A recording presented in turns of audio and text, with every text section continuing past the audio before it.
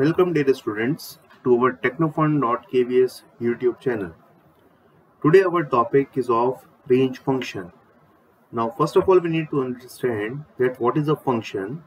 A function is a name given to some set of statements or commands which will do some specific task. Here we talk about the range function. Range function is used to generate a sequence of set of values starting from a particular number called lower limit to another number called upper limit. A sequence is the occurrence of values in a linear order. It works on integer or numeric values only. Now let us first of all look at the syntax of this function. Syntax as we all know, uh, already know that it is the prescribed format in which something can be used. Range, lower limit and upper limit. This is the syntax of this function by default. Here you can see if we are using range 1 comma n that means this function will generate a sequence of values from 1 to n minus 1. Remember this.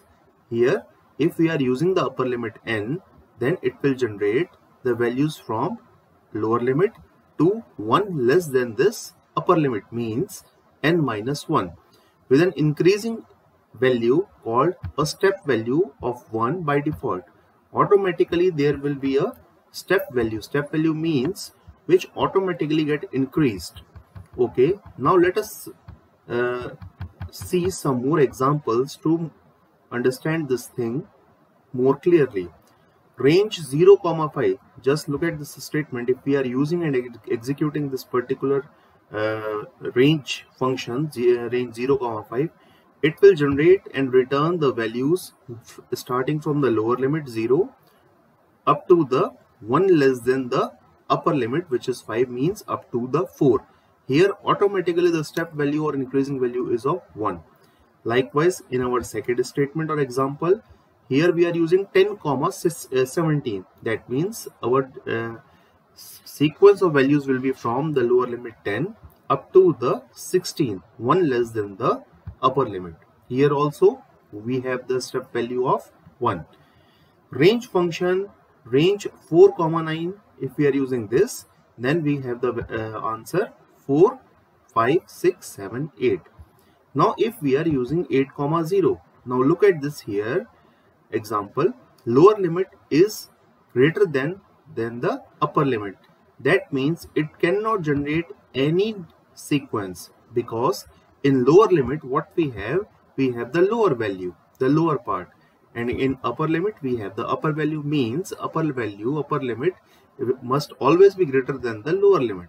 So if we are using the uh, higher value in place of lower limit, that means it will not generate anything. It will give you a blank. So let us uh, understand more about the range function.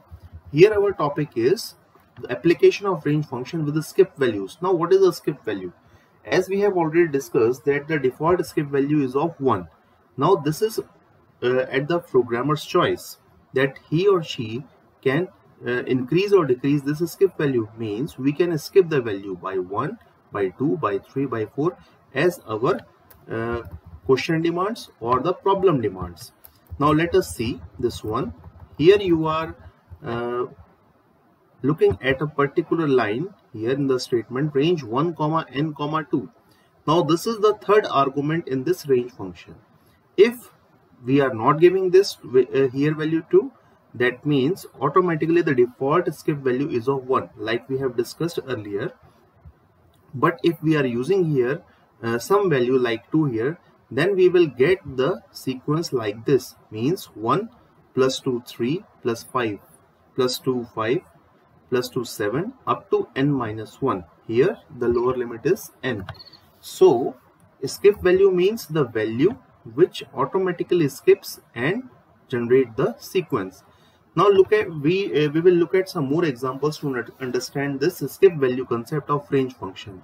Here you can see our statement is of range 0 comma 5 comma 2 then what we have the sequence? 0 plus 2 2 plus 2 4 now here 4 is 1 less than the upper limit. So we have the this range of numbers or the sequence. Here we have the skip value or step value called the 2 now in this function we are using the step value 3 or the skip value 3 so we have the sequence like 10 plus 3 13 plus 3 16 now 16 is less than the upper limit. So this is the last number in our sequence. Now here the skip value is of 3 likewise just look at this example. 8 comma 0 comma minus 1 now here the skip value or the step value is of minus 1 starting from the upper li uh, lower limit 8 and upper limit 0 now because we are decreasing a step value minus 1 every time so that is why we will get the sequence.